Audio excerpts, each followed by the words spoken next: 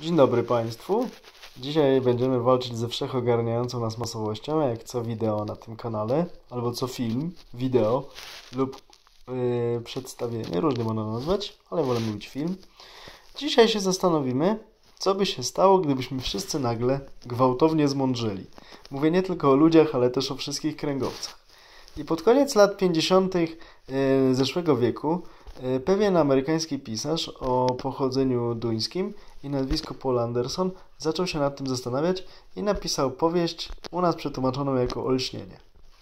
I faktycznie wszystkich olśniło, wszystkie kręgowce olśniło, bo Ziemia znalazła się w jakimś specyficznym polu elektromagnetycznym. No i teraz jak się zmienia rzeczywistość?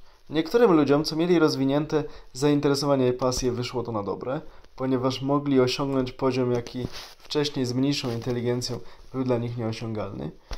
Y, owce stały się świadome śmierci przed zarżnięciem. Y, małpa zaczęła ujeżdżać słonia i strzelać z karabinu do atakujących wszystko super inteligentnych dzików i wiele, wiele innych rzeczy.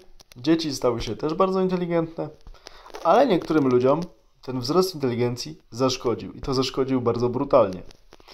I właśnie mówię, jest wiele fantastycznych powieści, ale nie wszystkie są tak dobre jak powieści Paula Andersona, ponieważ autor się bardzo e, rzeczowo przygotował do pisania swojej książki. Naprawdę przemyślał to, co chce napisać i nie ma w niej takiego pseudonaukowego bełkotu, jaki się e, znajduje w wielu różnych powieściach fantazy, które się siłują na oryginalność i im to nie wychodzi.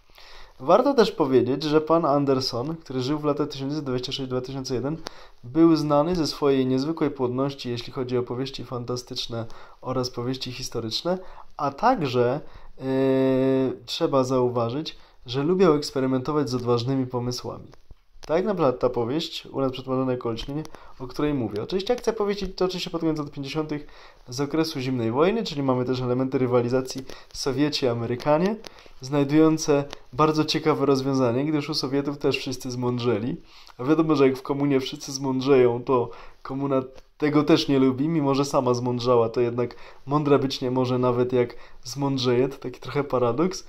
Więc książka e, zostawia nas z wieloma ciekawymi e, rozwiązaniami e, sytuacji, które zmuszają nas do myślenia. Dlatego mówię, jest to bardzo dobra powieść. Olśnienie Paul Anderson, czytać od zaraz. Fantastyka, wydaje się, że masowa, jednak nie, bo osoba autora, żyjącego w latach 1926-2001, gwarantuje wysoki poziom i wysokie ćwiczenie intelektu oraz świetną zabawę. To się bardzo rzadko zdarza.